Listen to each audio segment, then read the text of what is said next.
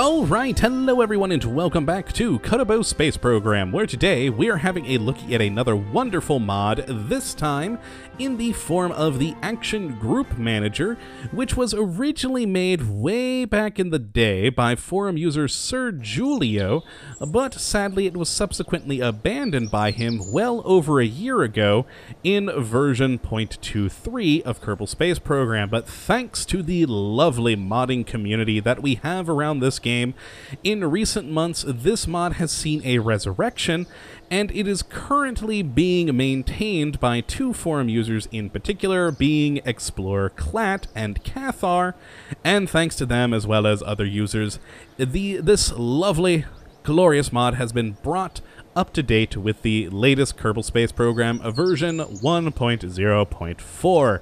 And I couldn't be happier because what this mod actually brings into the game is the ability for you to manage and edit or even create your action groups while in flight rather than in the spaceplane hangar or the VAB. And that just makes me happy, because if we jump into the VAB, one of my biggest pet peeves that I've had in this game for quite a long time is the action groups, because if we grab this action group test ship, the normal way in the stock vanilla game is to go click the action group button here, and then select your action group button you want to use, add your parts and what you want them to do, and that is it. That is the only thing you can do with the action groups. Once you hit launch, you're done. You cannot change those action groups again, and that is a bad thing because I cannot tell you how many times I have launched a rocket, gotten into orbit, or even all the way to another freaking planet and realized, oh, oh crap, I forgot to do something with my action groups, and then I'm frantically right clicking things to try and do it manually, and that usually ends in a giant ball of fiery death. So, the ability to actually change the action groups while in flight is just, it's a magnificent, glorious, and wonderful thing, and this Action Group Manager mod gives us that ability, and it does so by, if we click this AGM button here up in the toolbar, we get this lovely UI for the Action Group Manager, which is how you do all of the glorious things that this mod can do. Now, it's a little bit complicated of a menu, but I quite enjoy it because, well, it gives you a fair amount of control over everything. But let's quickly go over all of the parts of this so that you guys don't get lost. Now, the main important part, at least in my opinion, is this panel right here.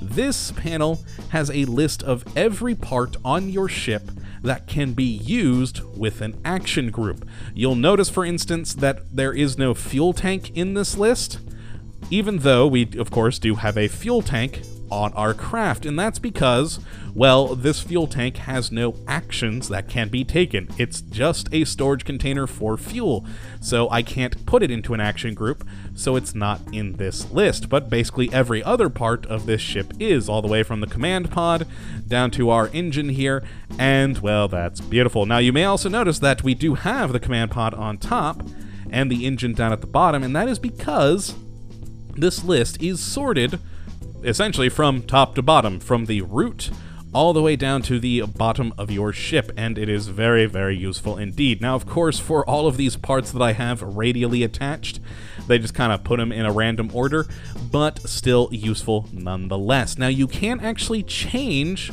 this sort in a way. Eh, we have this S button here, which opens up our settings for this mod, and the only setting we have is this order by stage. Now what that does is it takes our big list and turns it into a much, much, much smaller list, which is separated by stage. So our top stage with our command pod is up here with our command pod, our inline stabilizer, etc and then our bottom stage with the Rapier engine is here. Problem is, though, with this sorting, I mean, this is useful if you are just looking for something at a stage, but it's not useful because anything that's not in a stage, say for instance our, uh, you know, solar panels or any of our science equipment, is now left out of this list. So it can be useful, but honestly, I always keep this off because I find the main list far, far more useful.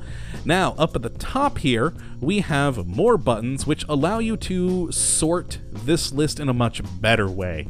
Instead of sorting it by stage, I can just look at control parts, structural, utility, science, our command pods, engines, etc. It breaks it down into the different groupings of parts, and you can see that it'll show there with a number how many parts you have on the ship that fit inside this category. A much more useful way of sorting, and of course you can unclick whichever box you have clicked to then bring back to the main list. Now, back to this pane, you can also see that we have two other buttons here.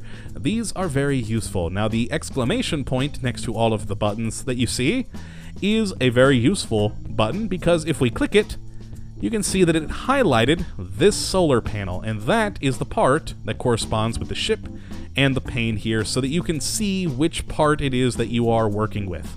Now there is a problem with the highlighting system though, which I can demonstrate by highlighting the command pod, which highlights the entire ship.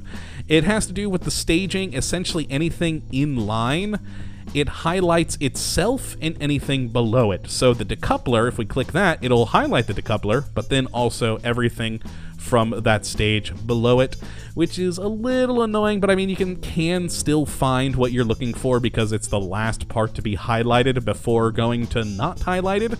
So it is still useful, but still, I would prefer if it did just uh, highlight the part, main part in question, which, ooh, the highlighting, I think is glitched slightly. It's uh, still on on some of the parts.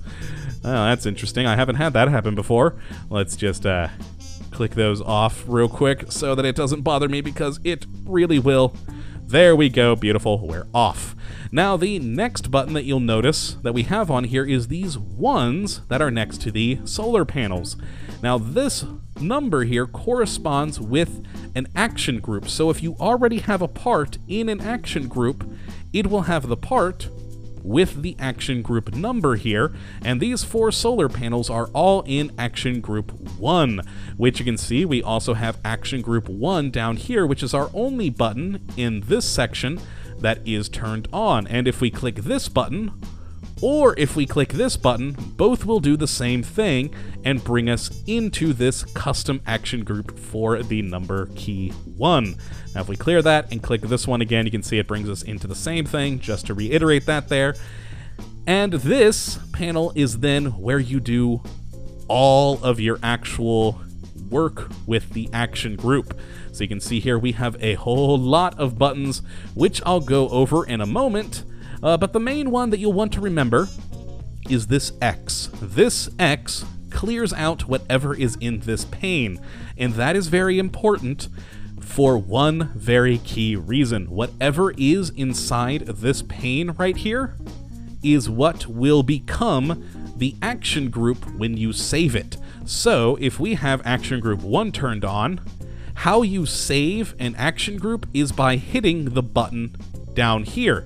So for action group 1, we just click that again and it saves everything in this pane to that action group. But if say we have this on and we click custom action group 2, oh, it just went into 2 and you'll notice that now next to the solar panel we have a 1 and a 2.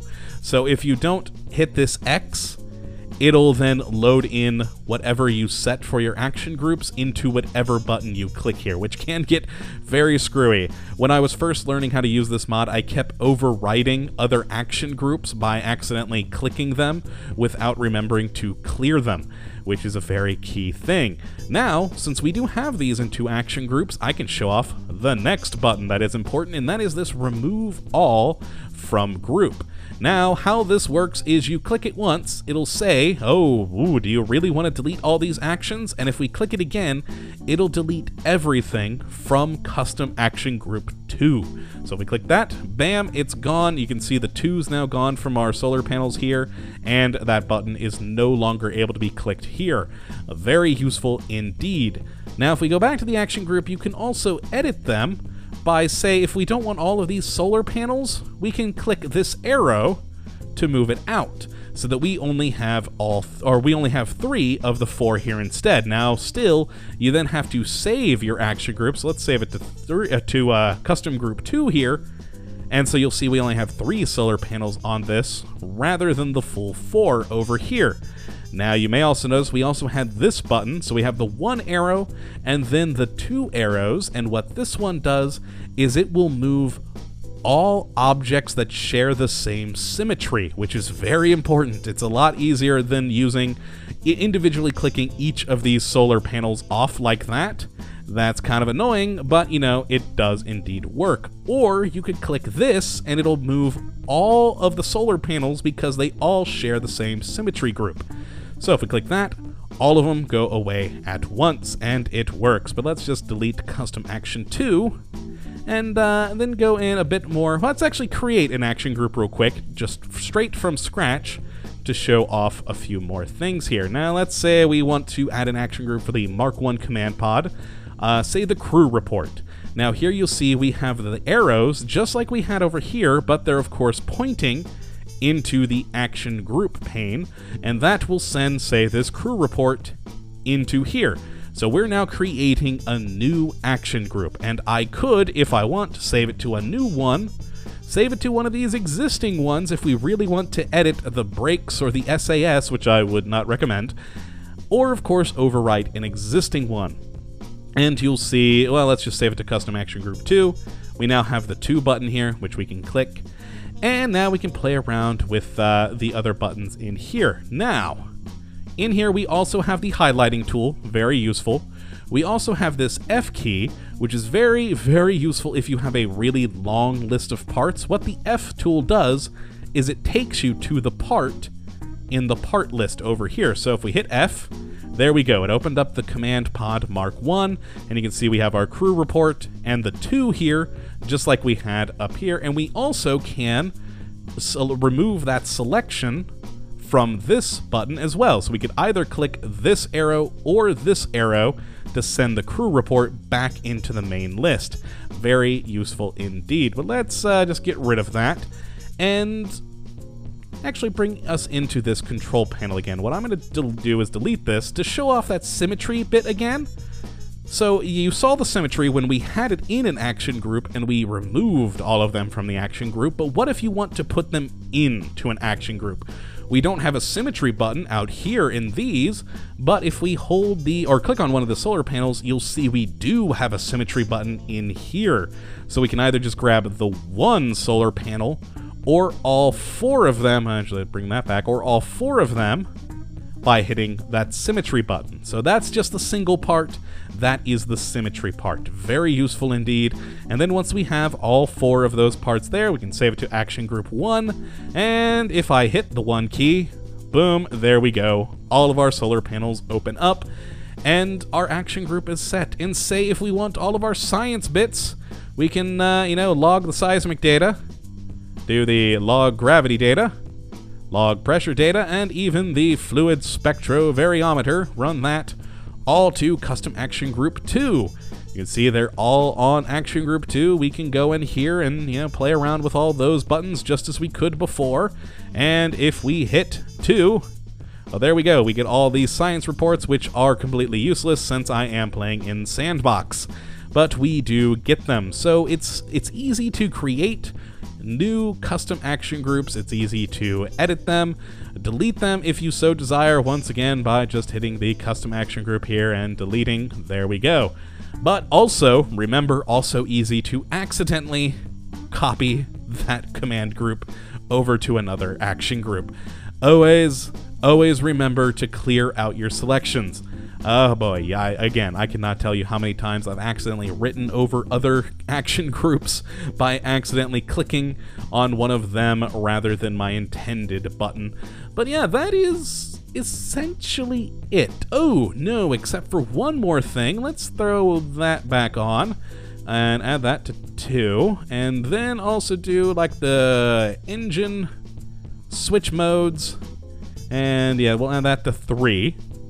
And there's one more button to show off here. This R. I didn't want to show it to you earlier because it's basically useless without existing action groups. Now we have our three action groups here with uh, our four solar panels, our science experiments, and our engine. And if we click this R, it brings up a recap of all of your action groups, which is very useful if you have all of your action groups filled and you don't want to click through them to see which ones all have which, you can bring up this lovely little list and it'll show action group 1 has the solar panels times 4, action group 2 has the seismic sensor, log the data, custom action group 3 has the Rapier engine and switch modes on them. So it's it makes it a little bit easier to figure out which ones are which once you do have all of these various action groups set. And the last thing, which is very useful, is we do have a little search bar down here so that you can search for a specific part in this list if you have a lot of them. So if we have, say, oh, did I click out? I did. If we want to find the pressure material barometer, there we go. We just type in PR right there and it will come up. We do CO, there we go. We can bring up the command pod, or of course the decoupler, because there's a CO in there as well. So you can use this to search if you have a very large ship with a lot of parts on it. You can search for just the right one you need, and then find it here and mess around with its action groups. And of course, clear that with the X. Very useful, very, very fun mod. I really love this. It's a little complicated to get used to, especially remembering to clear your selection before you look to another button or else you know again you'll accidentally copy it over. So always always remember clear selection. I cannot reiterate that enough. But very useful mod. Very very very needed. Why this is not in the vanilla game, I don't know. But if you would like to give it a try uh, for yourself, you can download it from the link in the description. And I do hope you give it a try, because it is, again, I cannot say it enough times, so extraordinarily useful. Go, give it a try, hopefully you'll love it, and of course, hopefully you have loved and enjoyed this episode today, and that you come back for the next. But until then, Thank you for watching, my friends, and as always, have a good one. Now let's take this thing off, except manual switching mode. There we go. we've we've ripped off the solar panels. Ah, good times, good times. Later, folks.